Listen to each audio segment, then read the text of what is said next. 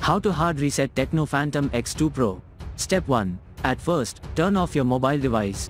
Step 2. Now use volume up and power button at once until Tecno. Let go power button when Tecno Phantom X2 Pro 5G appears. Step 3. If you see an Android robot image on the screen release volume up, use the volume up plus power key once to enter recovery mode.